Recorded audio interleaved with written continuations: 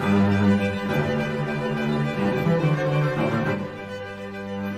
right, everybody, welcome to episode 31 of the Orchestra Podcast. We've been on a little bit of a hiatus. I had a fun summer as much as one can in uh, times. Uh, today we have a good friend of mine, a colleague, a great teacher, Matt Grenzner, here with us, an orchestra teacher from Curtis High School. Uh, we've got a little bit of history going back. In fact, my wife was in one of his orchestras in the Puyallup district, where I also taught, which is so wild. Uh, and he is coming to us today to talk about uh, taking over for well-established teachers and strong programs and how somebody in that situation can can navigate the hardships of like speaking to a board uh, and dealing with the kids who really loved their last teacher uh, which, which lasts many many years and that's it's a good problem to have Yeah. yeah so the discussion today is going to be all about that so welcome to the podcast matt hey, thanks for having me. I really appreciate it. And yeah, we've, we've we're both in the same boat. We've got these huge programs and legacy people before us. And yeah, what? how, how do we do this?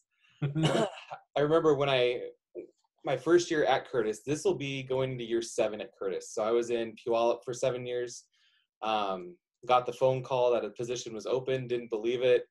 Double checked it. Was told by multiple people that hey, you need to get your application in, and I did it and got it. And yeah, it's the program at Curtis. Uh, Joel Westgard was there for 30 plus years, um, and the program is phenomenal. There's three junior high uh, orchestras, two high school orchestras. Um, the intermediate level, we're on primary is intermediate, junior high, high school, so a little bit different schedule.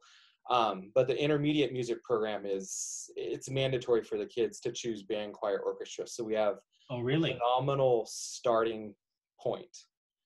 Um, so the, the the first thing I noticed, I actually um, when I knew I was going to get the job, I start I went to his spring concerts, his finale concerts at the junior high and high school to kind of see what what the deal was, and was amazed by the size of the groups um, and the caliber, and you know just how he put the whole thing together.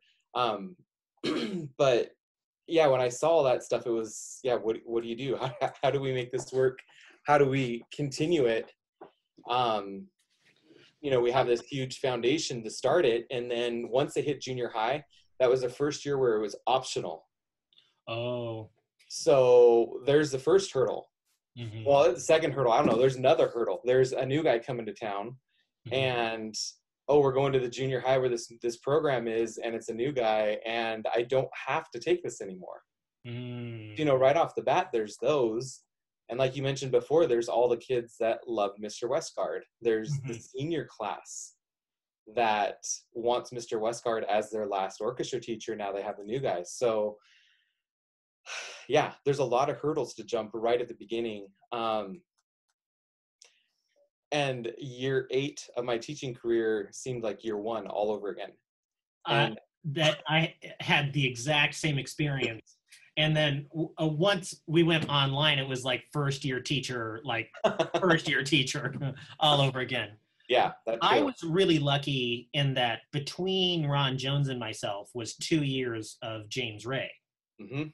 And for the number of reasons that culminated in him taking a job at Western, he was really clear with the kids of, hey, whoever is in front of you next year is the teacher you get, and the program is about you. It's not about who waves the stick.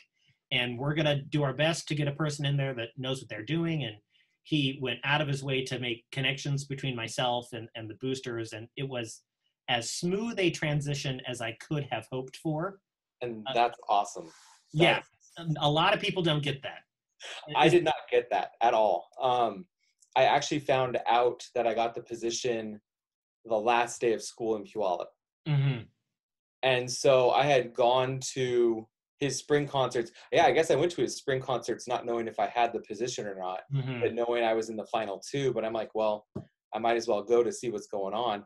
I didn't find out till the last day of school in Puyallup. I think UP had a couple more days. Mm-hmm. Um, so not only did my kids not know my Puyallup kids, but you know, then the UP kids had no prep hmm that Mr. Westgard that Joel was leaving.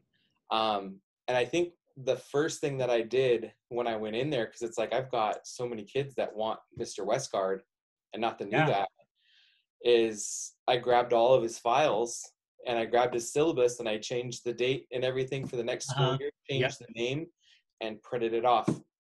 I didn't change anything else. I looked at all of his rules and guidelines and regulations and how things were run in the class. And I'm like, you know what? This is the first thing I'm going to do. This is not my thing yet. This is going to be our thing. Yeah. And I passed the syllabus out to everybody the first day of school or second or whenever we did it. And and the high school kids were a little shocked. They were ready to kind of put up a fight and, you know, what is this guy going to change and what is he going to do? And I'm like, I'm not changing anything. I changed the name, I changed the date. Let's do it. you guys know how to do. and, and that's great advice for anybody who uh, i mean this school year or watching this in the future is in a position where you're taking over for somebody who was doing a great job or in a district that has a strong program is if it ain't broke don't fix it Yeah. you know and i was lucky to have you know both i i stayed a couple of nights before we closed in our house here in port angeles with ron Right. and his wife, and they kind of gave me the full download on the whole history report. that was, was a lot to take in, uh, but but helpful. And whenever I have a question or or just I'm thinking about an idea, I can call James or Ron, and they always take my call. Uh, and my my goal was what happened to make things be going so well in this district, and how can I continue doing whatever it was that you guys were doing. Mhm. Uh, and if there's any room to make changes, that's it's not the first year in because there Oh. clearly something was working Yeah. well. yep. So you don't want to rock the boat. Uh, some of my earlier gigs, um, there was a little more latitude, hmm um, and I feel I I left behind in Puyallup, um, kind of what is more my kind of program than even what I was doing at the end of the year in Port Angeles. Yeah. You know, my shtick is you know is as much of the real classical music as possible Mhm. because how many kids are going to go to college and actually play in the college orchestra? Right. And this might be your one and only opportunity to play the Tema Russo from the Tchaikovsky Serenade. And Right. I mean, obviously, you're not going to do that with your freshmen, uh, but but your freshmen can do Vivaldi or Sammartini or or one of the Stamitzes, uh, and I feel like that's important. Yeah. Oh, Uh, yeah. But still including uh, other other voices and newer voices, and and trying to get in you know the contemporary era, get some some women in there. Uh, Soon Hee Newbold has been writing great orchestra music for a long time. I think we have overlooked that one in the whole trying to get uh, female composers recognized. I mean, Lion City is great for high school. That's that's Soon Hee Newbold. Kid- Yeah. I mean, it's candy. The kids Yeah. love it, and it doesn't sound like it's candy to the audience. It, it sounds like No. real Yeah. literature. Mhm. Uh, and it, her music is always rhythmic, which I appreciate because string players are notorious for being entirely unable to count. Well, uh, I'll tell a short story. So, one of the "if it ain't broke, don't fix it" things that I was really worried about with uh, the school closures was at the end of the year in Port Angeles, they do this all city strings review. Really similar to what Bethel does, where they cram everybody in the whole district into the gym at PLU. And at the end, they play Ode to Joy, and it's, you know, but they have this rose ceremony attached to it too, where the fourth graders give a rose to all of the graduating seniors. And so when you're graduating senior, you like look at this little baby first year fourth grader, and that was you, you know, six or eight years ago. Yeah. That's really cool. So uh, the the hill that I was going to die on was we still got to have all city strings. I don't care how it happens or what it looks like. We got to have it happen. And the I thought we would all follow the rules and stay quarantined, and, and it would go away and get better. Uh, but th- the quote that I really love about the way that this is unfolded is it's kind of like uh, the the way that the different states handled it was like having a peeing section in a pool. so we were closed off, but other places weren't, and and it didn't get filtered out in the chlorine. yep, exactly. So when it it came time that there would be no uh, all city strings, uh, I was pretty worried, and that's also like our biggest fundraiser for like our uh, tours and. um Port Angeles has gone to Carnegie Hall every four years since 1983 or something like that. Huh? Um, so what how the heck do i honor this tradition uh, when we can't even have more than five people in a room Yep. so what i i came up with um, ron and his wife debbie reached out to me say like hey what are you thinking?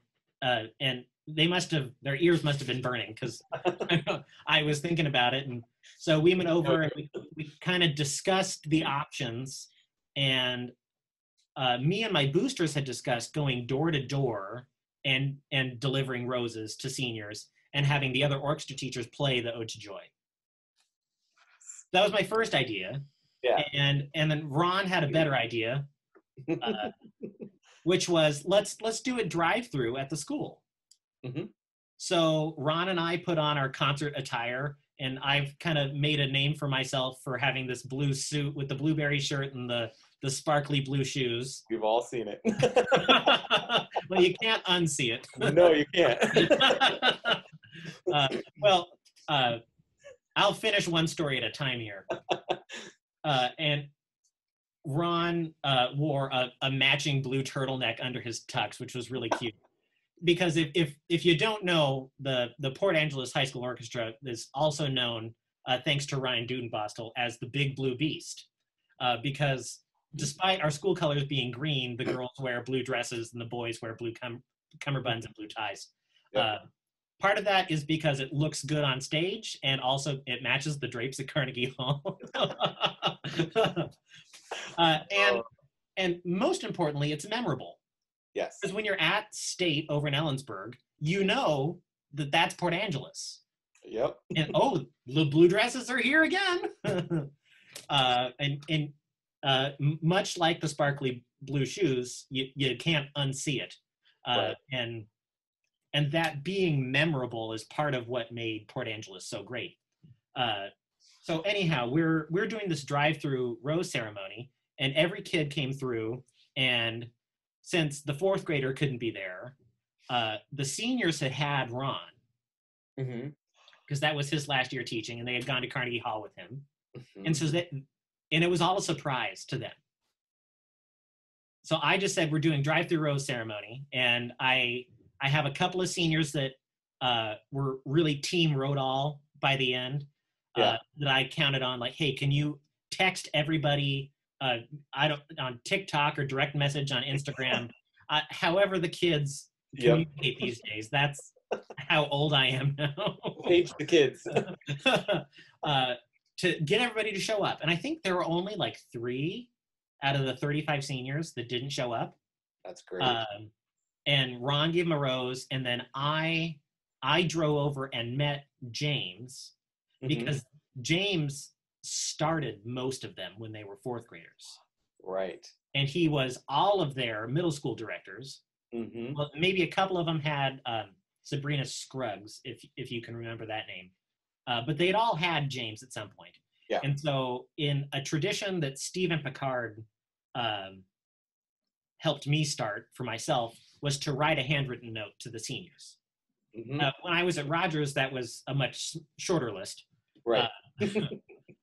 And, and you you kind of i'm sure if you do anything like this you have a little formula of things that everybody gets of you know what an honor it was to have you in orchestra and then memory of you and me and then insert you know cut and paste that everybody hears just Yep. so that i don't have to write 35 individual cards exactly. but i got ron and james to sign all of these cards That's awesome. so every kid got uh, a personal message with all of our signatures on it. And uh, the 30 minutes before the ceremony started, uh, we did a Zoom together where we Mhm. said why the class of 2020 is so important to us, and then we through studio magic passed a rose from one to another. Disney magic. yeah, so that they got you know that little spiel while they're waiting in their car to Mhm. to come and get their rose. That's really And- cool. what I didn't expect was the principal uh, showed up and took some pictures, and and he was nice to me, very supportive. He had, uh, I think his kids were in the orchestra. He went on one of the Carnegie trips, and Mhm. he he plays in a a band somewhere in Sequim, uh, like a, they do like covers, and he plays bass guitar, which is really cool. Nice. Uh, but at the end of it, it I was talking to one of the seniors' parents, and she said, "This is the first time the kids have seen each other since March," and this was in June. Yeah. And so the the kids were breaking the rules over in the parking lot, kind of congregating and talking to each other, and and I do anything about this, and uh, you know, we we just kind of let it fizzle out because of all that got taken away. And it was outdoors anyway. Uh, Right. But just so rough to have that tradition taken away. And I'm glad that we came up with the plan that we did to give them something. Yep. Uh, but that it's so important for anybody out there who who's in our position at at either point that that you keep those traditions at least for a while. If you see one that isn't working, let it go for five years. Honestly, Yeah. let it yeah the moment you said tradition and you started talking about your rose ceremony i you know that the word just sticks because that's what we're walking into you can call it a legacy you can call it whatever you want it's you're walking into a tradition something that's been set there for however long it's been and you you don't fix things that aren't broken you let it go you let them you you ride with it and then you start tweaking things along the way like i said you know the first year I didn't change the syllabus at all. We went with exactly what was planned the year before. Um, I communicated with my colleagues uh, at the intermediates, Chris Burns and Andrea Schmidt, and you know, I was like, okay, well, what is you know, what does my job look like from your guys' point of view? What are things that I need to know about? You know, and we had great meetings before my, you know, that that summer before I started, and you know, got some things figured out we tweaked a very few things that first year. You yeah, know, we have we don't have an all city concert at the end of the year like you do, but we've got a, a district festival yeah, in the middle of the year, um, and it's it's the top groups from all of the schools. It's not everybody, but it's you know same same deals. Um, and they always did it in the gym, high school gym floor. Everybody was set up at the same time, and it was just you know it, it was organized chaos on the floor. Well, and in Port Angeles, it's, it's to the point where it was, I think, three or four years ago, the fire marshal came in and said, too many people, fire hazard. And so we have to have two concerts now for all city. wow. Uh, because when you include all of the fourth graders and the fifth graders and the sixth graders, hmm it's, I think, in the last five years, the lowest it has ever been was 846 total string students in the Port Angeles School District. Yeah. Um, which uh, y- you were talking about your your colleagues, and that's something else that that needs to be considered when stepping into this position is who who's feeding you, and if the program is so strong, they're probably getting the kids off to a good start Yes. because you don't start in you know seventh or eighth grade or whatever grade Yeah. uh, you you happen to the youngest grade that you teach Yeah. uh, they've had somebody before you that Mhm. has been doing good work and you want to know how you can f- scaffold what you want to do on top of what they've already been doing exactly.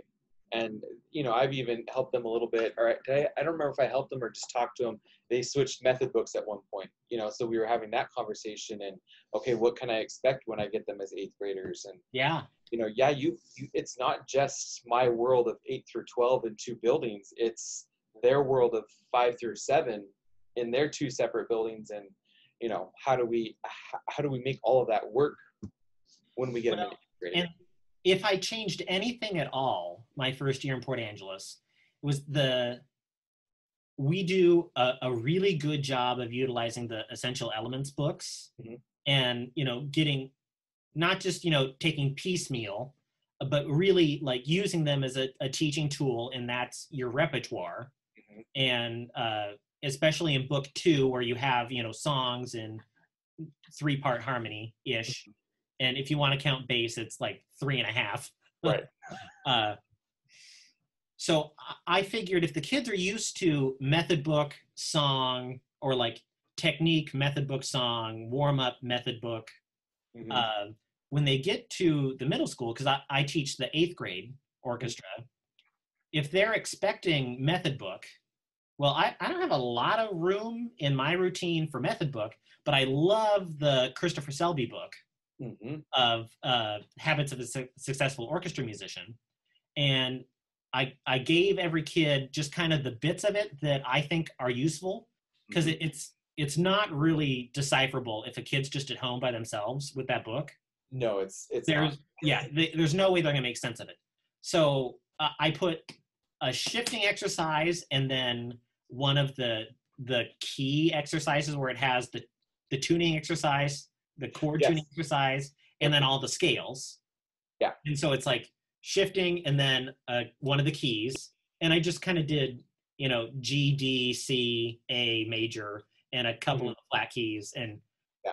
uh, g and d minor and then the chorales in the back and so it's just kind of like how much how much time do, can i trust these kids to stay focused on literature and let's fill whatever that empty space would be at the beginning Mhm. with the the technique because if i want to be able to do the tchaikovsky Tema Russo uh, with the symphonic orchestra which is non-auditioned 10th through 12th grade and i've maybe got eight kids out of 109 in that group that take lessons that i know about Yeah. um, they've got to have some technique first and I, I'm, I'm sure you, you're doing similar things Yep. And and they definitely fought me a little bit on the we're in eighth grade we don't have to do method book anymore like, well viola section can you play c sharp not yet so we're going to still do Which method book. sorry There's more than one. turn to chorale number three sorry Yeah. Well, that's you know, yeah, the method books. I finally found the one I like, and it's the Selby book, and he's got the middle level string musician. yes And I use that at the junior high, and then I use the other one at the high school. And my seniors, my top audition group, they, we all start with those warm ups every day. Okay, pick out this scale. We go through the tuning, the chorale, the all of those bits and pieces. That's our warm up every single day. And you know, one of the biggest things, I think one of the biggest hurdles getting through the first couple years um, was the format of the classes I had at the junior high because I had three classes and there's this top group Uh-huh. that my first year teaching at the junior high, the top audition group was 86 students. oh my god And so coming from Puyallup, I started with my first junior high orchestra with 35. Uh-huh. By the time I left, it was 65 over the span of seven years. And they wouldn't give me a second class for it until after I left. And the new teacher fought for it because they're like, what's going on? And so they finally got, you know, that's when Puyallup went to the double orchestras at the junior high. Yeah So walking into Curtis Junior High with three levels of classes, the Mhm. top group being 86. I can't remember what the middle group was. The lowest group, which was called String Tech, Mhm. was 20, 25 maybe. And I'm like, okay, cool. This is like, and Joel had placed all the kids too. So I'm walking into pre-placed classes I know nothing about. He, Joel actually left me. It was three or four boxes of cassette tapes and a cassette player and said, I've already placed the classes for you, but if you would like to re listen to all of these auditions on cassette? on, on cassette, he would send why don't you leave your betamax joel? I was looking for the eight track from his car. Like, he had a closet full of cassette recorders and he and blank cassettes like unopened packages of cassettes Mhm. and he would send the kids in the, the the spring into the practice rooms here's your audition material record it as many times as you want and turn it in when you're done write your name on a sticky note and put it in the box and i had three or four of these boxes just chock full of audition tapes and i No thanks. The classes are already set. I just kind of scooted all those into the trash can, and I went with the classes he had. But the biggest hurdle that year was this whole notion of tiers at the junior high level. Yeah. there's this elite and it was called advanced orchestra so it already had the title of we are up here and then there's intermediate orchestra and then there's string tech Yeah. i loved the foundation of the three levels but the names weren't helping me at all Uh-huh. the class sizes weren't helping me at all and then there was the parents. My kid doesn't belong in string tech. Well Yep. you know what? Oh, actually this is going to be perfect because we're small. We're going to get a lot done and by the end of the year they're going to be you know they're going to catch up so quick. So i fought that for the first couple years and i finally uh, my first year not changing a whole lot of anything and Yeah. then always communicating with the junior high principal about hey these are issues coming up. This is what i'm seeing. These are you know do you see all these parent phone calls and emails that i'm having to deal with um i don't know how joel dealt with it you know um but i was getting a lot of it and it was probably because i was the new teacher too Yeah. but I can't remember if it was the second or third year. Um, I finally at least switched the names of the classes, but it was still three classes. Mhm. That didn't help any because there was still the kids could tell. And so the the next time I switched, I think there were like three years in a row where I actually changed the format of the classes. Mm. Um, it started with like the names. The next year, I went to an eighth grade only group, a ninth grade only group, and then the top audition group, which that worked numbers wise for a year.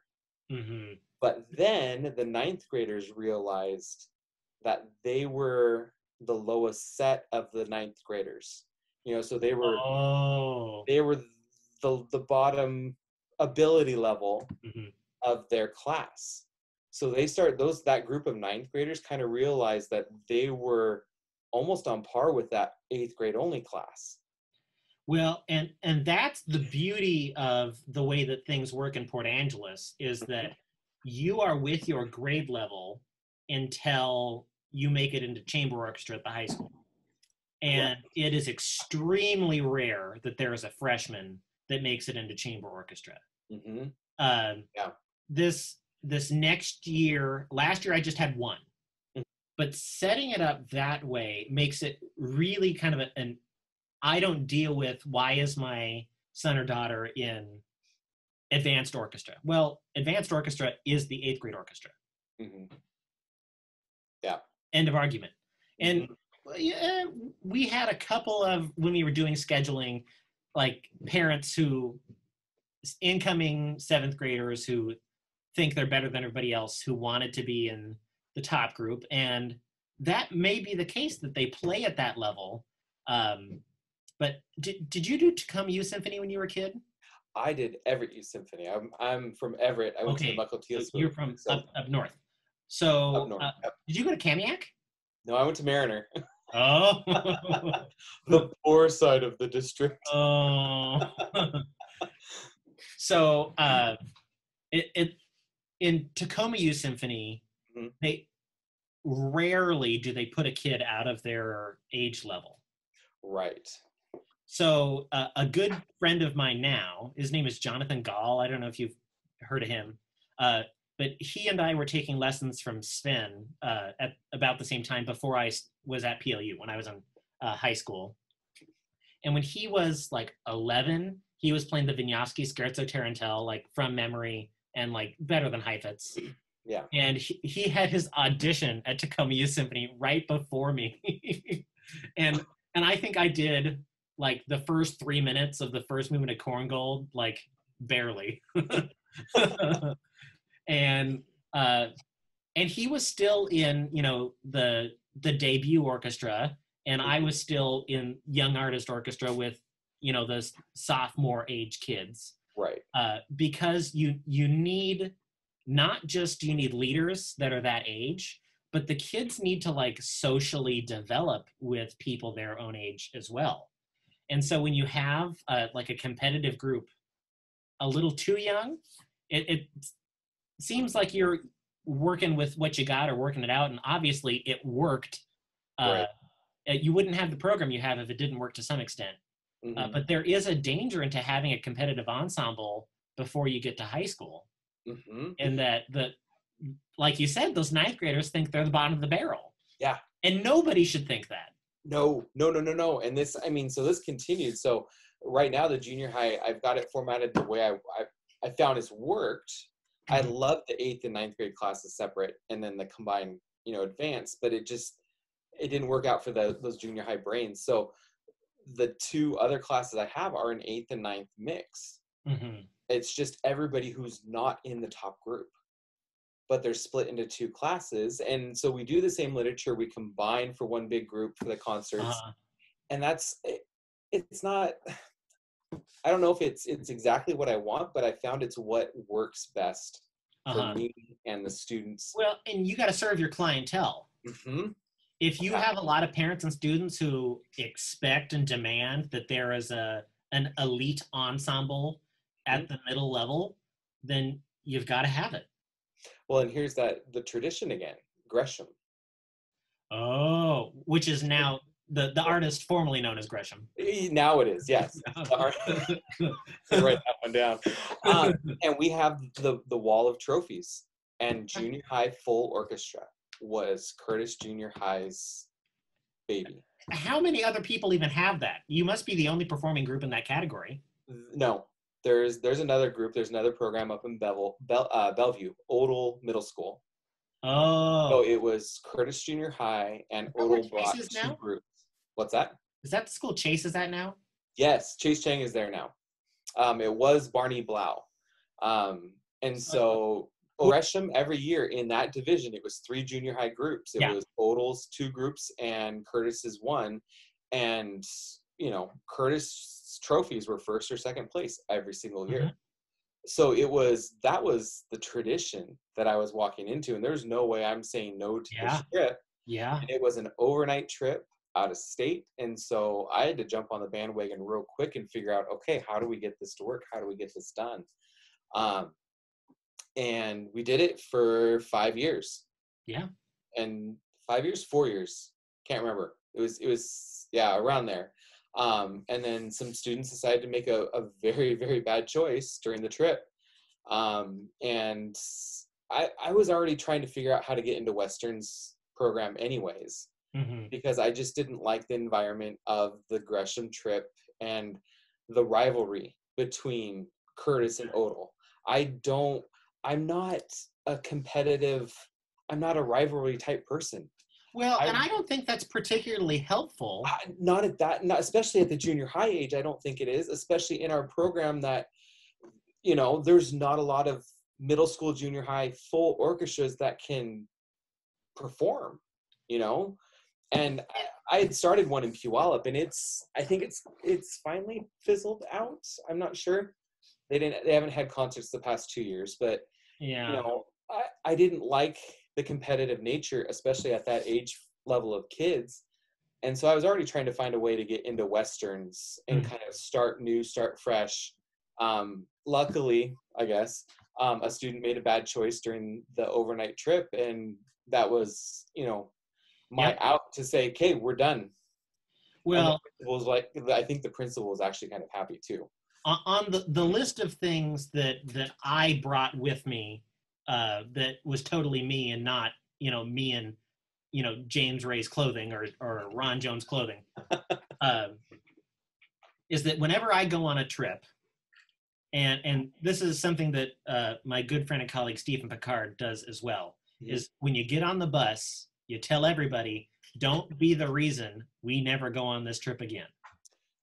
Mhm. and I leave it at that. Hmm and the couple of times that there have been close calls i i kind of pull the kid aside and i say are you about to be the reason we never take this trip again? Yep. and it from all of the totally wild stories that ron told me from back in the day taking kids to gresham and western and new york. Uh, and, and there were some pretty hilarious moments. They never had to send anybody home. Nope. because it it, it was just understood the and the, the way that the program is built of the by the time you go to Carnegie Hall, you've at least once had an overnight trip with the whole orchestra program hmm because uh, the freshman symphonic orchestra and chamber all play at what used to be Gresham and now is the the Western trip. hmm Uh, so they've got that overnight experience where they put the tape on the doors and Yep. you know the you got to make your bed before we leave even though the I, I don't know if the the cleaning staff really want that but it it you know it, it makes the kids take it more seriously Exactly. There's there's standards. and so when you get to carnegie hall you're not worried about checking the tape on the door Right. because you've kind of figured out who your problem kids are Right. Yeah. already Mhm. and especially if it's a you know junior senior they've been on the overnight trip three times now Yep. so you, you know who to look for doing that with a junior high group or a middle school group that just sounds terrifying i don't was- think i would do an overnight with a middle school group No, and and I'm glad I don't anymore. And uh, there's there was a big difference going from Puyallup to University Place. You know, Oh, I mean, the, the structure was different, the programs are different, the clientele is different, but like, I mean, the the tradition was one of the big hurdles that I I faced. Is like, how do I get going with this? How do I keep it going? You know, how do I even understand what it is they're doing? Um, well how do you honor it before you before you take the next step how do you honor the tradition mm-hmm. because clearly it it worked to a, a huge degree. Yeah. Whether or not you ethically, morally, philosophically agree with it is, Right. you know, that's a that's not a first five years thing that you tackle. Yeah, no. And I mean, one of the biggest things that that was hard for me is in Puyallup with my one junior high orchestra, you know, we we would do 12, 15 songs a year, you know, over the spread of all of our concerts. In UP at Curtis at the junior high and high school, we were doing 12 to 15 pieces a concert between all of the groups. Yeah. So now it's like, okay, I'm like I'm You're I'm sorry, of repertoire. I know. It's like, oh, what do I do? What I need more music now. You know, well, that's uh, for for those of you who, who don't know the whole history, Ron Jones taught 43 years at Port Angeles High School. Mhm. and and he knew really well the pieces that he knew how to teach and what the groups could handle Mhm. uh, i i was given lots of kind of points of what the kids might be able to handle and i kind of asked questions about Mhm. um, you know how are there sufficient violins that could play in you know a sixth position you know high d high g with a fourth finger kind of thing? Yeah. uh, could they do a one octave a major scale starting on a on the e string? Uh, you know to what degree is that? So i could kind of get a gauge of what is possible. Like are we stuck in grade three territory? Right. or uh, if you're lucky you get kids who whether or not they're ready to play that music they want to. And and I, I have a number of kids who are like that which is uh, something really cool about the clientele in port angeles is they know that there is uh, oh, th- this is what i was thinking about earlier um, in at plu reading the um, in my string pedag- pedagogy class reading the hamann and gillespie uh, high school strings textbook i forget the title of that book it's a Oh. small spiral bound uh, like i'm you probably have it on a shelf somewhere I, out there, I, I, I think I, I think I know what you're talking about. for teaching strings maybe is what it's called Yeah, I can't remember. but it, it's it's Yeah. brilliant and they talk about the different uh, systems of recruitment and retention Mhm. and the most effective by far is um, oh what's the word?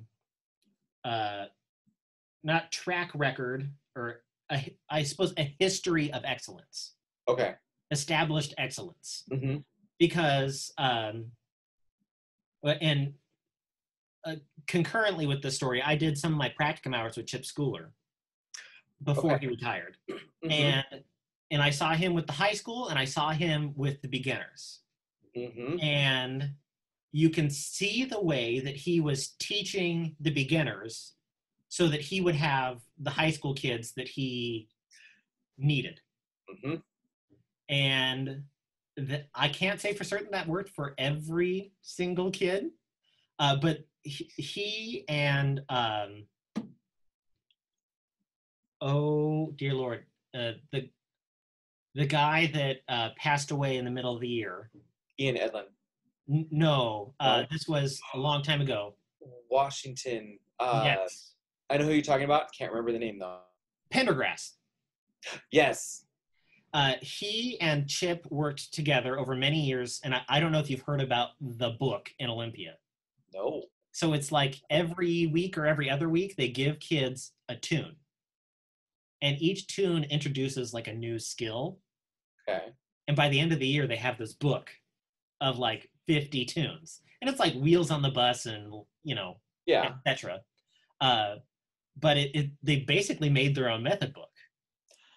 So that by the time the kids got to Pendergrass or, or you know, Mary Jo Ridhome, Mhm. uh, there were a, a really clear uh, outline of what the kids would be able to do.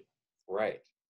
And, and that's what we want at any whatever materials you use hmm uh, to build that that program of that expectation of excellence. Yes. Uh, because in in Puyallup, uh, when Mark Jasinski was disappeared in the middle of the year, Mhm. um, which I don't think was the best way to say goodbye to a, a really dedicated teacher right. and somebody that that really cared about what they did for a living.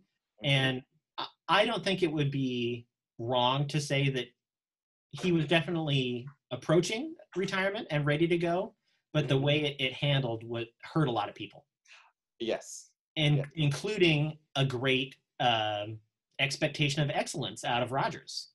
Um, and way back in the 80s and early 90s, he and Todd would take kids to Australia.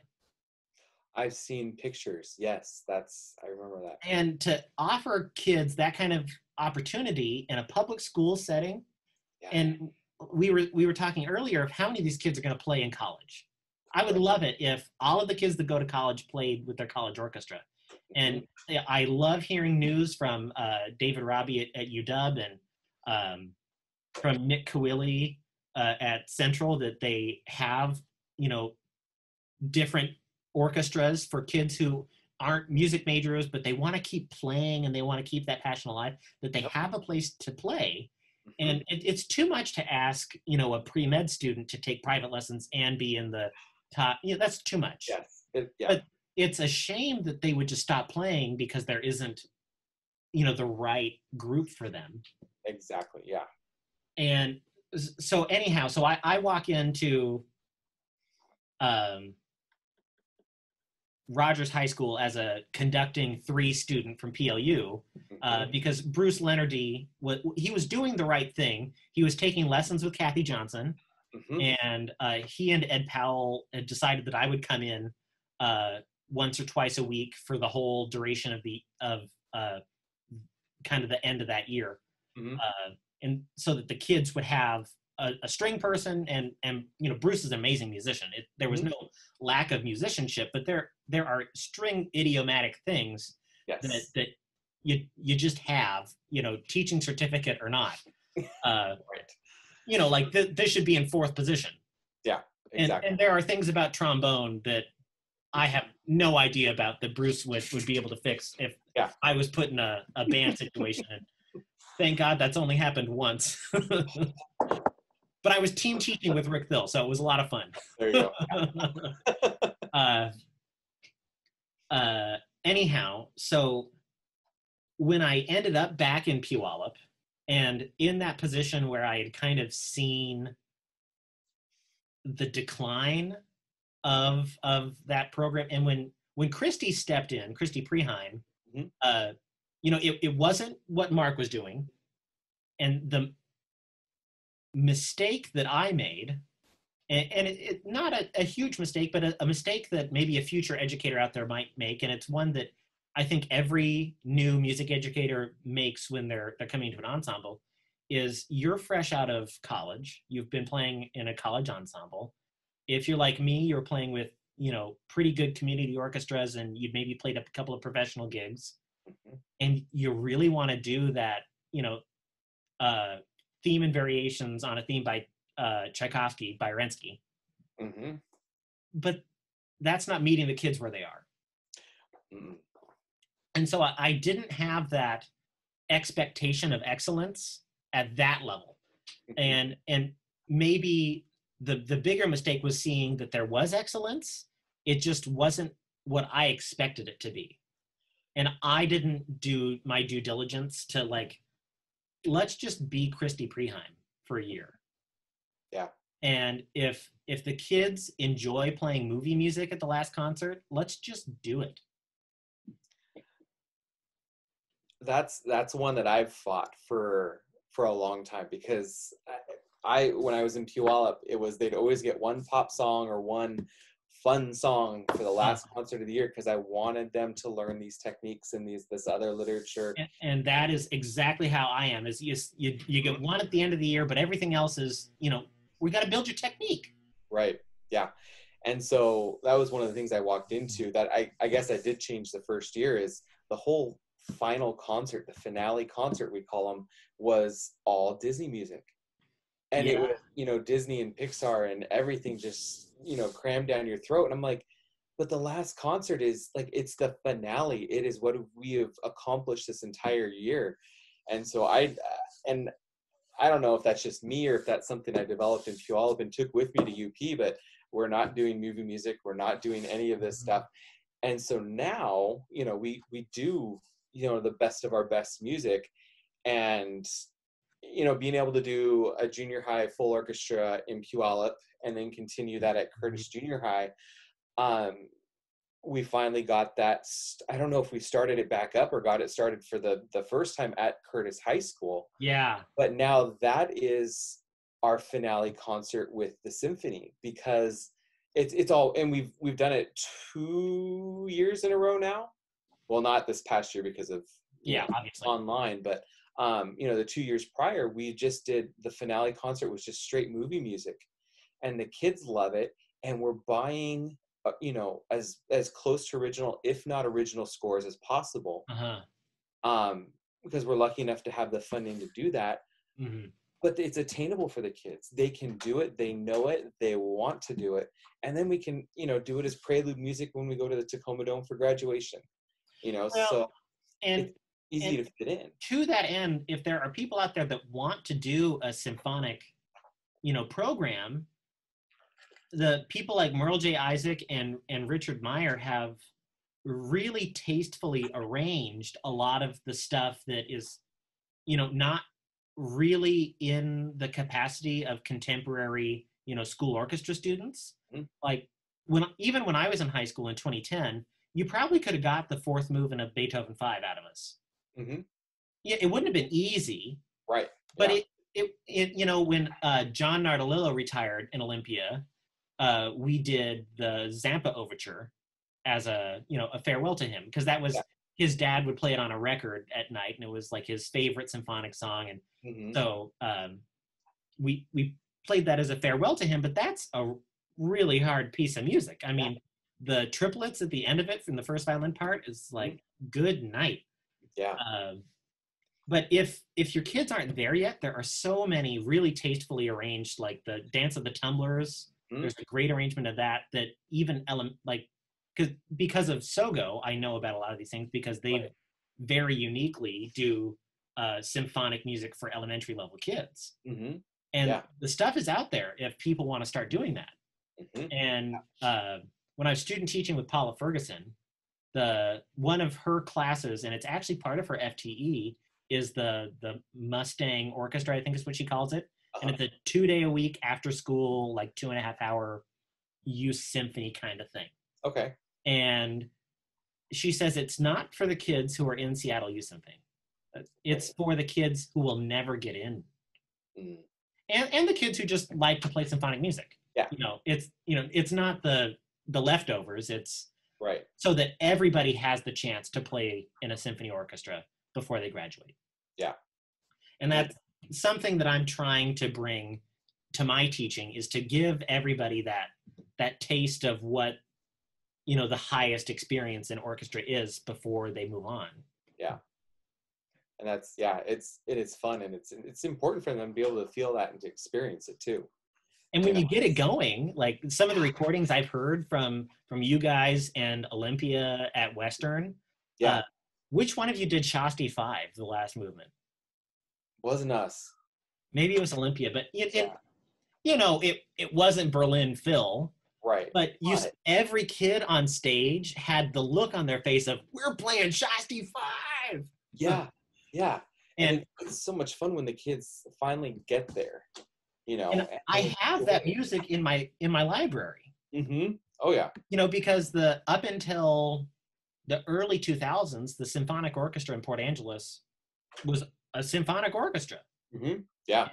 and uh, he and the uh, ron jones and the band teacher at the time they had a, a schedule worked out where they would work with each other's kids a couple times a week on the the symphony music and Mhm. so we we've we've got it on the shelves it's just collecting dust right now and uh, we've got a, a new band teacher in uh, in Port Angeles. Jarrett Hansen is his name, and we just had a big long talk today about you know what's kind of our five year plan and you know Mhm. how how can we make the music program better.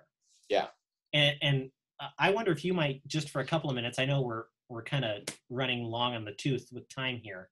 Uh, but the way that you and your colleagues work around how do you support the music program and not you know just you're the island of orchestra because that it really it you could see it as i'm doing what's best for my program and let's kick everybody else to the curb Right. but it's not what's best for you know your workplace relationships Right. or for the kids because you don't want the kids antagonize, antagonizing each other No. you oh, want a strong music department. So when mm-hmm. you have the Christmas concert, you can do bits of the Messiah and it sounds great and it's really well prepared. And the choir is just as good as the band, is just as good as the orchestra, and you enjoy Right. sharing those concerts. That's the ideal.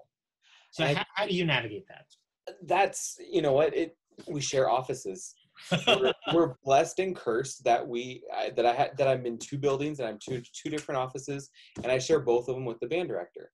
Mhm. you know at each of the buildings. And so there's you know that's one way is we are constantly around each other. We have to constantly work with each other. We share rooms. We share spaces. We're always there. And so i think a lot of that is just you know we have to communicate. We don't always get along. And there's days where you know not many words are said but we know where those boundaries are. Like okay you know what? We'll start over tomorrow. Um, Mhm. but you know just being open and communicating and saying you know what? Okay here's the goal. We're going to get the junior high ready for western this year. What you know how are, how is your band doing? How you know how many kids do you think are going to audition for it this year? You know Yeah. just working together. That's you know the and that's kind of i'm talking about the junior high right now because it's a little bit different of a situation. Uh, craig ryan is the band director there and he'll audition his students to be part of the the full orchestra at the junior high um, which is that's the way he's always done it. I'm not gonna you know i'm going with what he does.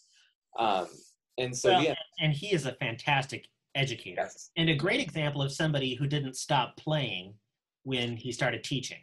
Exactly. And you can hear when you do an adjudication uh, of you know a large group adjudication, you can hear whose teacher plays hmm and who maybe lets the instrument sit in the case. Because the students need to hear you demonstrate, you know, well. hmm Now, I am not a cellist by any means, but you, you know that I've got a cello here in my office, and when I put a piece of music in front of them, I've I've played the part on every instrument because I don't want to be in that situation where a bass player and this this really happened. yeah where a oh, bass player says, "Oh, Mr. Rødahl, this is impossible." Well, no, it's not. it's not and it But was how do you the, oh, the Rev Rimico by Kirt Mosier, and right at the end, everybody has these doubled eighth notes, dugga dugga dugga dugga dugga dugga dugga dugga, and it's, you know, I had worked out the fingering that I, I kind of have big hands, so if you have tiny hands, I'm sorry, Yeah. uh, but this is the fingering that you, that you'll do, and this is how you do it, and I'm going to show you. And Yep. it doesn't mean you suck or you're bad, uh, Right. But we're we're learning this together, and it is possible. Mhm. Uh, and it it really hurts my heart when you see a person in charge of an orchestra program that isn't a string player that didn't go out of their way to understand string playing and there are people who who do that i th- aaron julian Mhm. i mean uh you you'd be hard pressed to think of a lot of string educators that are really quite as dedicated as he is Mhm. and uh, groups with the demographic that he has uh, that that play with the level of proficiency that his groups play with. Mhm. So it's it, it doesn't have to be that you know you played violin since you were three, Right. uh, but but even Aaron, you know, he still plays percussion professionally. He plays with the Yakima Symphony, and he is a really really serious musician. And as soon as you let that go, uh, it's going to show up in your teaching. Mhm. And uh, I mean, Craig is a, just he's like the top example of that because there's Yeah. there hasn't been a gig in Seattle where he isn't you know first clarinet or you hear well we called Craig but he said no. Right. Yeah. Well, yeah. There's Seattle Symphony. There's Symphony Tacoma. There's you know he's still a professor at PLU.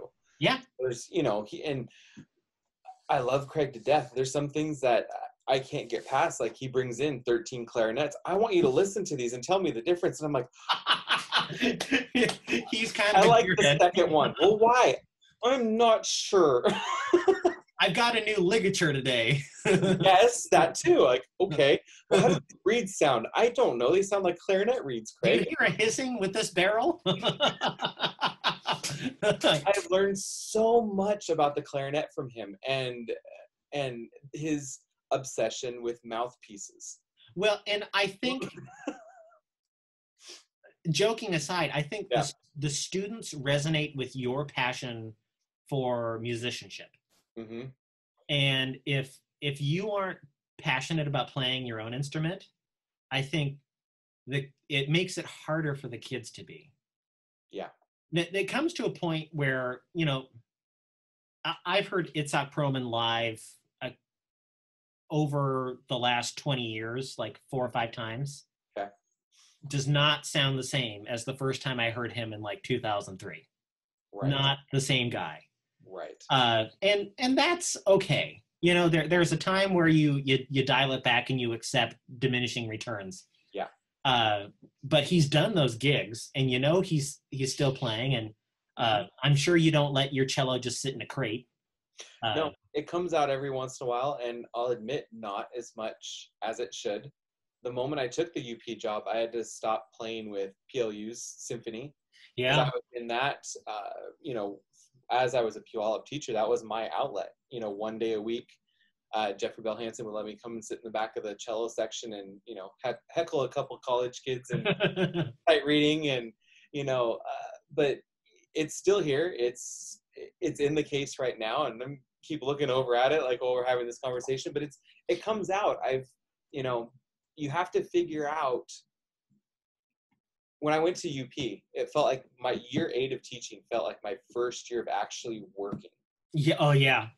Having the high school gig is a whole different can of worms. well, and, and going from technically one group, I'm not counting the elementary I did in Puyallup, but, you know, one junior high orchestra to three and two at the high school, like I'm actually, I'm working like nonstop. And so, you know, when I started UP, I had to finally put the cello aside. I still kept my private studio open. hmm because I still needed some form of an outlet. Um, and actually, as of this past school year, my private studio is now closed, and I've been teaching privately longer than I've been a public teacher. You know, I was teaching in high school. Well, and So that's you know that's it's hard to get it back out of the case, but it has to get out of the case. and that was a, a conversation that well one of millions that james and i had over about this time last year Mhm. of you know getting ready and you know i was playing with like five different community orchestras Mhm. because you know teaching junior high and when I was in Puyallup, I was blessed to teach only orchestra. I was lucky in that way. Um, but it, it it wasn't really you know a whole program, and there weren't tours to worry about, and there's no boosters, and there's no fundraisers, which yeah. is you know to the detriment of the students that they don't get those opportunities. Uh, but it meant that you know my evenings were pretty open, and if I wanted to make a buck, you know it was a half hour to go up to Seattle and yeah. uh, and play, and and that was great fun. But we we had a conversation about how many of those gigs are you going to keep. Yeah.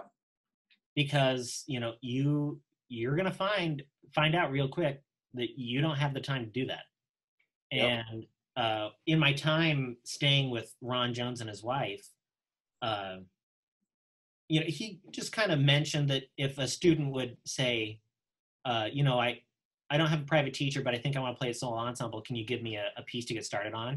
Mm-hmm. And he'd, you know, give the kids private lessons for free every day after yeah. school. Yeah. And his wife said, you know, because they they both worked at the high school, right. at, at uh, well, Debbie retired and then sort of rehired at some point. Uh, but he would be there until five or six every night. You know, it that was his one gig. Mm-hmm. Uh, was being at the high school, and that's part of how those our predecessors built that legacy was really not doing anything else outside of the job. Yeah. And and that has been a hard adjustment for me is giving up some of those extracurricular activities. And it's really hard to not have private students. I mean, the the income alone because it's it's you know if you do what you love you never work right yeah you're just helping another student learn to love the Accolay concerto the way that i do the way that i do and that oh i see one of your little kitty cats in the background yep they're they're starting to get in their playful mode right now. Uh, so, oh it's the witching hour. Uh, well anyhow the the real takeaway that I hope that anybody watching this gets is that um, it it's kind of um, a rose with thorns taking on a, a big program with an expectation of excellence mm-hmm. uh, because you're going to walk in and you're not the last person.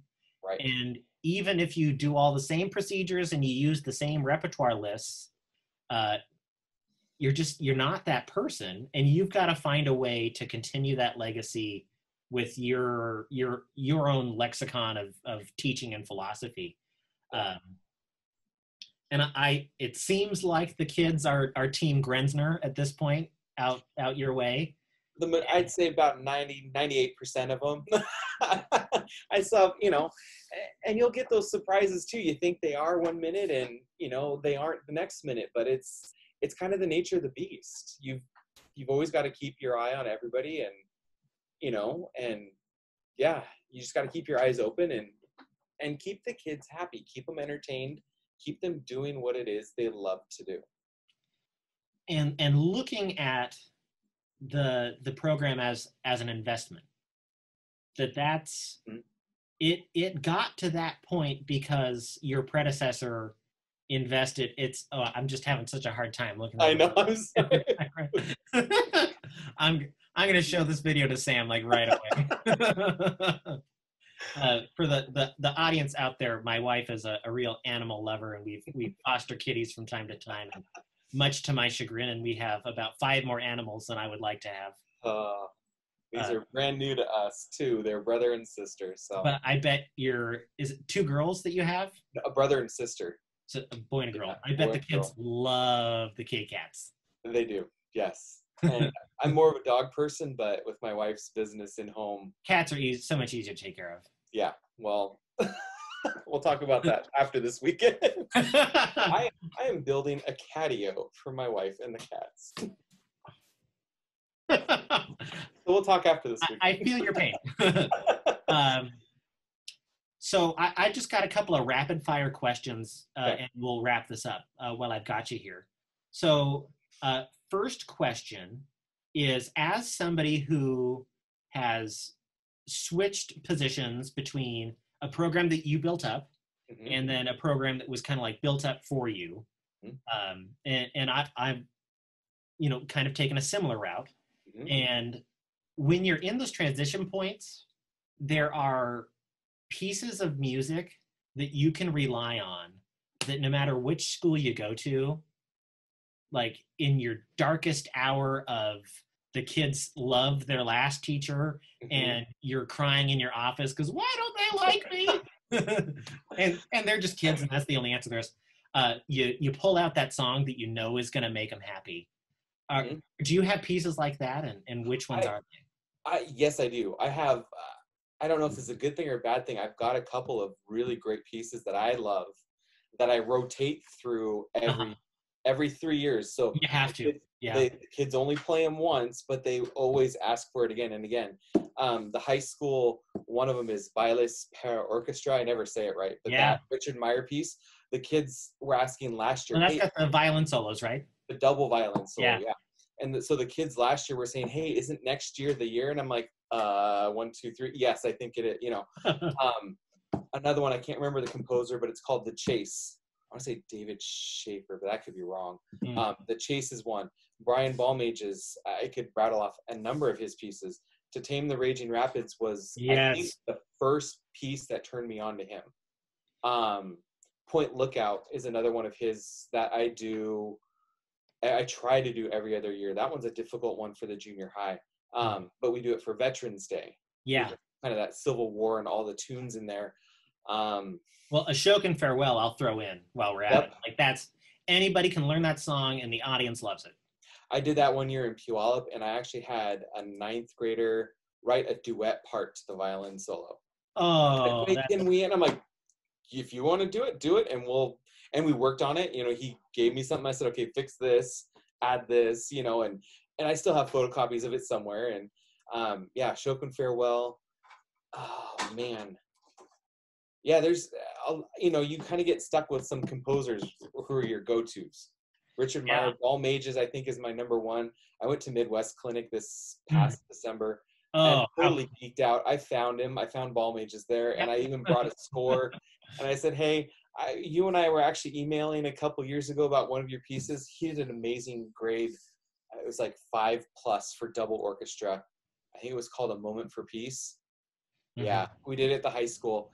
Um, and I had to email him because I'm like, uh, we're stuck. Here's, you know, we're, we've recorded.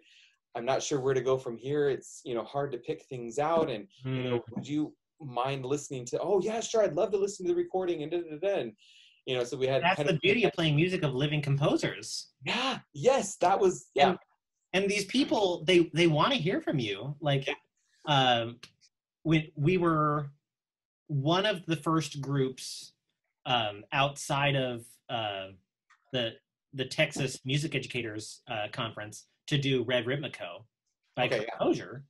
and you know the the kids loved the piece, and uh, we we got a showcase performance at the Mercer Island Festival uh, Mhm. playing Red Rhythmico, and I just reached out on a whim when I started this podcast of. Would you come on my tiny little podcast and talk to my kids? And he Mhm. said, "Yeah, sure." And it was super awesome. nice, and he, he took a lot of questions off camera. Uh, you know, these these are not you know men in high castles hiding from us. No, and and I think the way well with Brian with that a moment for peace by Balmages, I threw it on one of the our Facebook groups, you know, with all the teachers saying, Yeah, "Has anybody done this? How do you actually set the group up?" Because I was, you know, like that's the first thing. It's double orchestra. How do you? And you can't. It even he even wrote it in the program notes. You can't conduct everything. Yeah. Be- it- but everything happens. You know, you're kind of like doing these things, and so I just threw it out there like, "Hey, has anybody done this? How did you actually set it up?" I'm going through different, you know, formations in my head. He was the first person to respond. It was, "Oh yeah, I know somebody who's done this," and Yep. like the notification popped up on my phone, and I screenshot it. I'm like, "He's talking to me." Yeah, there's there's my geek out moment. I got to meet him at at Midwest Clinic, and That's awesome. it's so cool to meet, you know, the person that that's that's great advice for any new teacher. Is uh, I mean, even here in Port Angeles, where the stuff on the shelf is a little dusty, and uh, when I when I came in, uh, I decided for the first concert, everybody was going to play new music. Because in Port Angeles, a small town with a lot of bigger families, Mhm. and so the the parents in the audience are um, on their third or fourth kid in the high school orchestra, Mhm. and they've heard everything. Mm-hmm. And I didn't want to be compared to James or or or Ron because they are both such awesome teachers. And if I do, you know, the Bach G minor little fugue, not Mm-hmm. the way that Mr. Jones did it, I, I Yeah. just I can't offer. I don't want that comparison. and that's and not a good, that's not a good spot for you to put yourself in. either. No. you can't do that. So I had just been at Birch Bay, and we had read through that tune "Cascade" by Bert Ligon, Okay. and it's just candy. I mean, it's jazzy, and it's and it kind of sounds like a '90s sitcom intro. And I had had great success with the arrangement of October by Eric Whitacre, okay. and it's got a beautiful viola solo, Mhm. and everybody needs stronger violas.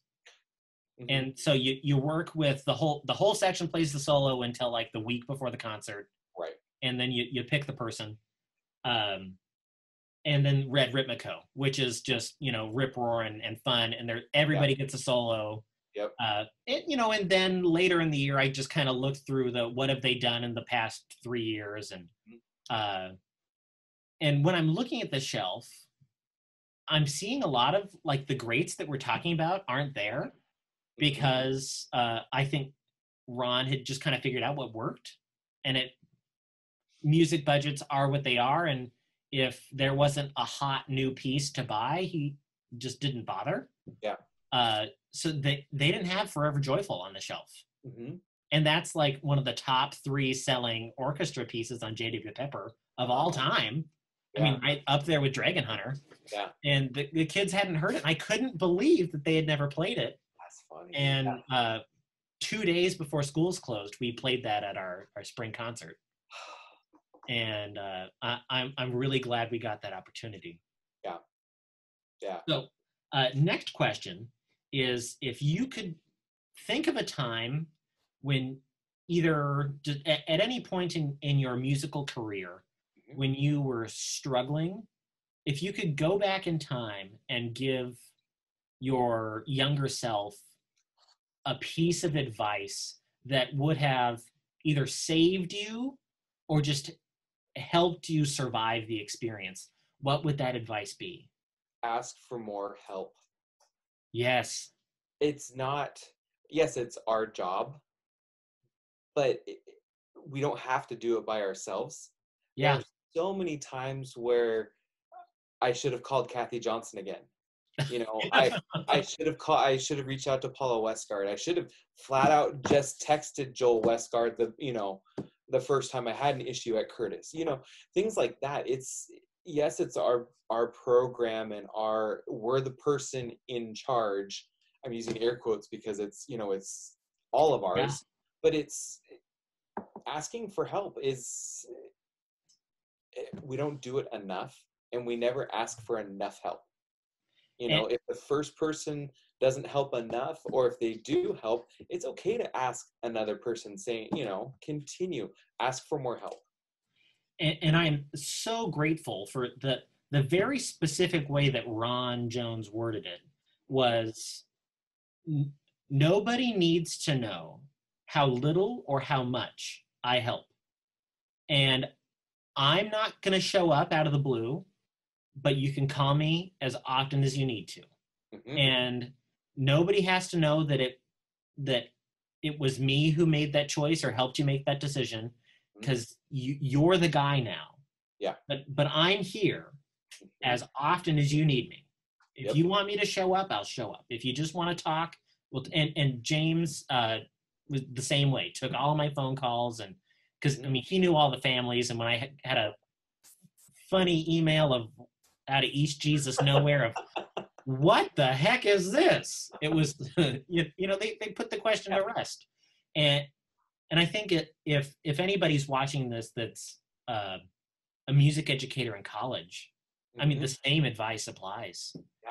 you're not the only you know music ed student who's you know having a hard time with edTPA right i mean that that whole thing is just a nightmare well and it's you know it's not even just colleagues that are close to us that we we can reach out to. It's there's all the facebook groups. You know you don't know something just post it throw it up there. Oh, I I love the school orchestra teachers Facebook group. I mean that when I was in I've told the story so many times, but when I was in DC with Rogers and we they were all watching that thread. We were all trying to help oh, out it was such a nightmare. the tour company didn't send me well, they didn't understand that there's a difference between band and orchestra. Orchestra, yep That was the big problem. yep Uh, oh, good. And and bless his heart, Stephen Picard was so understanding. And uh, every time our tour guide said, "Okay, band," Stephen said, "And orchestra." Yeah uh, yeah, but that group within about a half hour of posting, anybody in the DC area have three cellos and two basses. Yeah. I had him. Uh, David Cho, who's one of my first guests on this podcast, he showed up at Arlington Cemetery with three cellos and two basses, and and we played the gig. And you know, later on, I had to take an Uber uh, back to Fox's uh, music company, and um, the guy maybe charged me a hundred bucks for Mhm. the you know Yeah. and i paid it out of my own pocket just because that's what a teacher does that's exactly what we do that yeah. kind of thing's gonna happen yep um, well that that's great advice um, i had one more question but it has evaporated into the ether um, it, you may notice the harpsichord behind me I do, and I've been kind of watching your your little thing about that. That is amazing. Yes. So uh, Cooper Sherry, he is a, a music director. I forget the name of the Lutheran church. It's right uh, next to the Narrows, kind of you know where Sven uh, Mhm. lives. Yeah. It's the Lutheran church up the road from there. Okay. I can't place the name right now. Okay. It's uh, next to Truman Middle School, kind of in that area. Okay. Yeah. Um, I wish I could remember. Uh, but they had a harpsichord, and he was just kind of upset about how little it was being used and Mhm. he was an organ student at PLU back in the day, Awesome. and just he wanted to see it be played by students, Mhm. And and that was his caveat. And I said, well, I because at, at the time I was still in Puyallup, Mhm. and he had student taught with Dan Davison. oh my gosh. Okay. And so I was organizing this surprise concert where I, I wrote a piece in his honor that Mhm. uh, we rehearsed in secret with the choir, Mhm. and Cooper put together um, the Dan's greatest hits of his warm ups. I don't know if you ever got to watch Dan teach, but he No. He had like you know the cycle of 30 warm ups that he Mhm. used his entire career Yep. and uh, some of them less than others. And so we, Cooper put together this like, you know, ten measures of each one, and Dan is just sitting there and he's crying, and now I'm crying because he's crying. uh, but any after the sort of after party, Cooper was saying he had this harpsichord, Mhm. and I well, I had just been offered this job Mhm. out of Port Angeles, and they have this chamber orchestra. And James had kind of told me he likes to start the year with, uh, you know, Baroque music. That's Uh-huh. sort of how he eases the chamber orchestra into the, you know, Yeah. whatever direction they're going to go that year. right. And we've got kids out here in Port Angeles that are great keyboard players. How many harpsichords are there out here? Zero. So you want your harpsichord to be played by kids? I'll make it happen. exactly. That's So, cool. and you know it, it's it's not you know the the best work of art but it's it's got all the it's got three sets of strings and all the different stops and Mhm. um i have to tune it every other day yes. and twice every day in the winter. but uh yeah that, that's just another example of of something that i learned from paula ferguson of Mhm. giving public school orchestra students the opportunity to experience everything that the classical repertoire has to offer Yeah. because it might be their only chance. hmm I remember every time at PLU they pulled the harpsichord out. It was like yeah. the the first five minutes, like even while they're tuning or just dinking around on it, you just kind of sit and stare. And it's like that is so cool. And it's, you know, when I the rare chances I do get to play with a full orchestra or a symphony anymore, the first A from the oboe that I hear, I just sit there and it's just calming to me. It's like, oh, there's that sound again. This is so much fun. I'm so glad I've had this experience.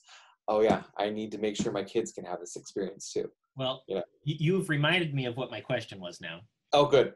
So, when I was in fourth grade beginning orchestra at Rocky Ridge Elementary in Bethel School District uh huh. with uh, Sherry Levins, who was my private teacher for 10 years. Uh, and the first time she had all like 50 of us play the open A string, I'd been Huh. playing flute since I was three. Oh my gosh. And Okay. because my, my mom is a pretty decent flute player. Uh huh. and I was kind of tired of mom being my private teacher. And my my birth dad was a band teacher, Uh huh. and I figured nobody knew anything about violin. If I do violin, then mom and dad won't bother me Yeah, exactly. while I'm practicing. I can do my own thing. Uh, but I- you know, it it seemed like it was really hard, and I wasn't sure about it. And it was such a big group of people, and Mrs. Levins is kind of this weird lady with this cat sweater. and, Uh-huh. But the first time that all 50 of us played an open A in the gym, like like lightning, I knew I was an orchestra kid hmm did you have one of those lightning bolt like i'm an orchestra kid moments I. I'm one of three, three boys. I'm the middle, and we're 17 and 18 months apart. So my older brother, he's he's the legit nerd of the family. He wanted to play viola starting in the fourth grade because he knew in the fourth grade it would give him scholarships in college. What fourth grader thinks the viola? You If know, he's the nerd, what does that make you well, I don't, I don't know. I'm the one that keeps teaching it, right? And so it was. It was something that was. And my my mom played the piano, but it wasn't. You know, she grew up taking piano lessons, but you know, couldn't do anything as an adult. My dad's not musical musical at all. So for me, starting the cello, it was okay. My older brother's doing this. I want to go with the big the big one. the big Well, one yeah we, well, we walked in the music store. Dad didn't want the bass because he knew he was going to have to carry it around, not me so I picked the next biggest, which was the cello. Um, and I don't know if there was like an aha moment that I knew I was gonna be, you know, the orchestra kid and do this thing. I just really enjoyed playing it, and and so maybe it was maybe I just totally missed the aha moment because it happened so quick, and there wasn't like an instant. There was there was an instant where I knew I wanted to be an orchestra teacher. Okay. And that came so i started in cello in fourth grade. When i got into middle school and into eighth grade um, i had already been in everett youth symphony for you know a couple years taking private cello for a couple years um, there was a, a moment where my teacher said hey will you go take so and so out in the hall and help them with this part of the music real quick? I was like, Mm, weird. Okay uh sure. Like eighth grader you know what am i doing? I have no clue. Went out in the hall and just helped them with it like my teacher would have helped me with something and it was so rewarding. And i just i just got a kick out of it like hey let's do that again hey i'm gonna can we can we can we you know keep doing this thing and so i don't know if i don't I don't think i ever felt like a aha that i knew i wanted to be the musician i Yeah. enjoy playing and i love the cello Mhm. but I definitely remember that aha moment when I knew I wanted to be an orchestra teacher. I knew I wanted this to continue. Now, you know, in high school, I kind of sidetracked a little bit and thought, oh, well, you know, teachers, they don't make anything. And uh, let's go look at this science stuff. And I actually had the opportunity through a scholarship I was getting in high school to go to uh, Fred Hutch and do kind of a uh, one or two day kind of deep dive into some some things and um, it didn't pan out. Like right away, I knew like I don't know how to gel cell gel thing. Like what is this? And worms doing what? Like this is way beyond. Yeah, I'm gonna go ahead and be a teacher because I enjoy this a whole lot more. Like I get this this. story is so ironic so the since i was in fifth grade i was going to go to uc berkeley and be an industrial designer So that was planned. Okay. and you know uh, I went to Capital over Olympia because they had international baccalaureate, hmm and I, me and my mother somehow thought that that would pan out in my favor. hmm Um, I ended up doing running start and IB. Bad choice. oh, uh, and I did one year of that and I survived. It wasn't the end of the world. And then I realized that I was getting 45 credits a year at running start. And so I just, the senior year, I just did orchestra. It was the only class I had at school. And because I was doing running start, I could go to uh, two or three of the elementary schools with Joe Divig uh-huh. and, and help him with the beginners. And uh, in a really awkward, ill prepared way, I, I once told Joe that watching him with the beginners was like really where I saw how good of a teacher he was. Because when, at the high school, we were all, we, we really loved Mr. Nardolillo. And when he took, he very different guy. Uh, and, and he just kind of went straight his direction and it, it wasn't the kind of program. It was just the one orchestra. I Mhm. mean, there was a freshman orchestra and the 10 through 12 orchestra. There wasn't Uh-huh. a, chamber group. So he could kind of just walk in and do his thing. Right. Um, and, and, you know, he, he did great work there and, and he got capital uh, up to, you know, a, a really respectable level uh, Mhm. by the time he had moved over to Olympia. Mhm. Um, but I, you don't see the teaching happening when you are the student. right. but when I was with him in the elementary classrooms and to see the way that he would just even the way he would accompany on the piano and start the group it was just really captivating to me. And there were a couple of times where i, I would get to fill in or um, i've got to go do this thing. There's going to be a sub for the freshmen. Can you get out of your second period class and you know work with the freshmen? Mhm. and then one day in one of my where I didn't have to go to rank start because of the schedule, uh, I I was starting to consider maybe I'll go into composition because um, uh, Sven had really been challenging my music theory side when I started taking lessons with him, and I had started taking composition lessons with Greg Utes because the Tacoma Youth Symphony set up a program where uh, you could take group lessons at a really reduced rate Uh-huh. um, and and I was producing a fair amount of literature. I mean, a high school kid, what do you have to do at night if you're like a nerdy orchestra kid? Practice and write music till midnight. exactly right. Yeah, we didn't have Netflix yet, so there was no like just stay up late binging shows. Although if you stayed up till three, you could catch Family Guy again on Adult Swim. nice. uh, and he was so. What are you gonna do when you when you leave high school? You know the classic like Joe Divig. Yeah. Yep. What do you think you're gonna do?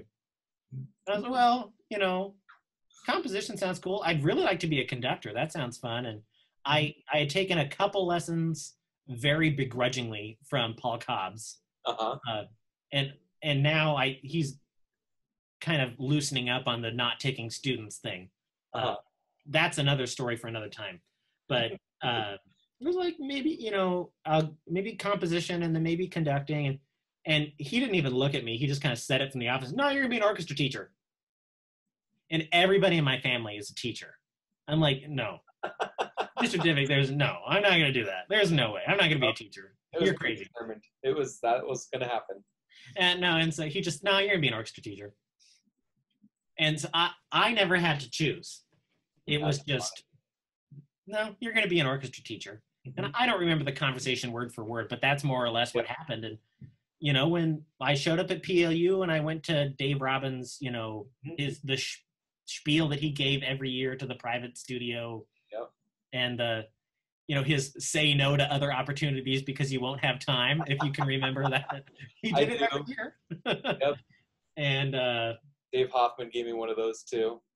and the the the next day, uh, when they ask you to pick a major, hmm and it with no contest music Yep. education Yep. because everything else i wanted to do i could i could still do as a teacher or it, and all of the experiences i had playing in like pit orchestras or just side gigs that were offered to me as a high school student really showed me how important it was to have a background in education if you wanted to be a conductor or a high level musician.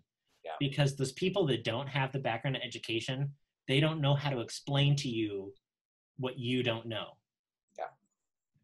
Um, so that that's how I ended up where I am. Yep.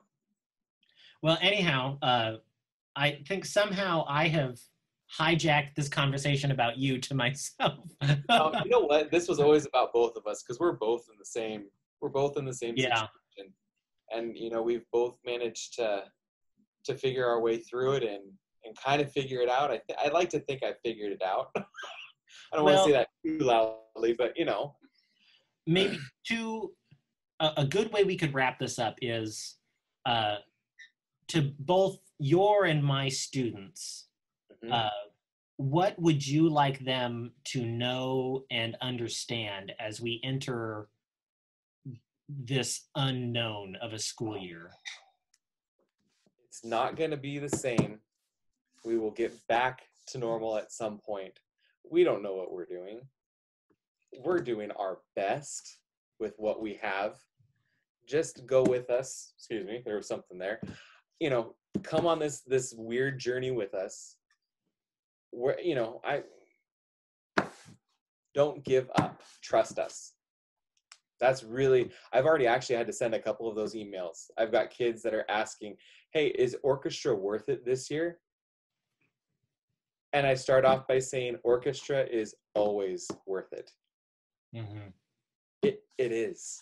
It's even if it's the class that you take because all your five other classes are just AP and they're blowing your brains out.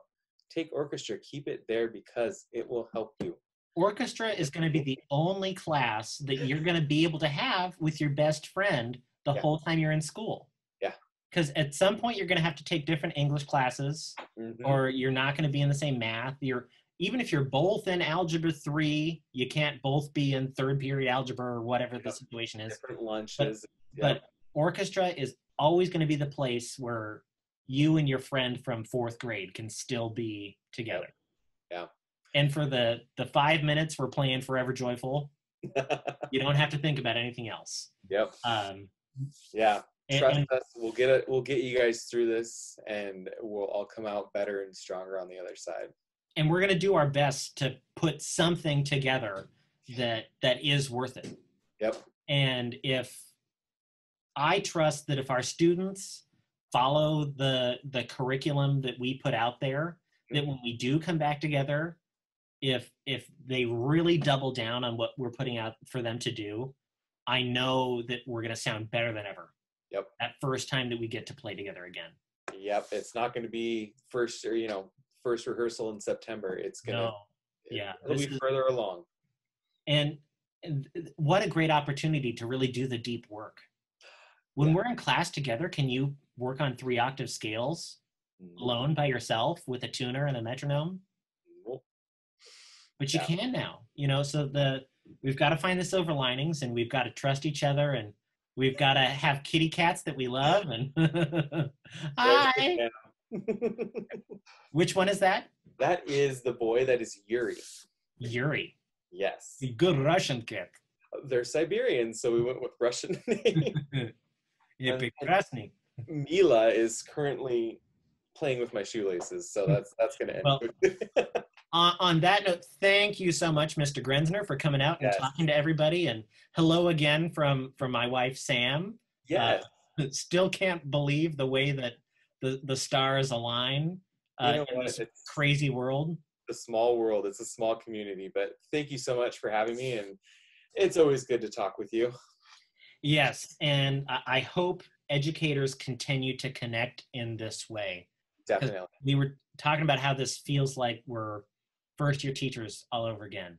Mhm. and uh, if people are watching this out in you know a different state different part of the country uh, there's always another teacher in your situation Yep. um, I, I didn't even know, uh, you know mason flimmer you know mason Mhm. Yep.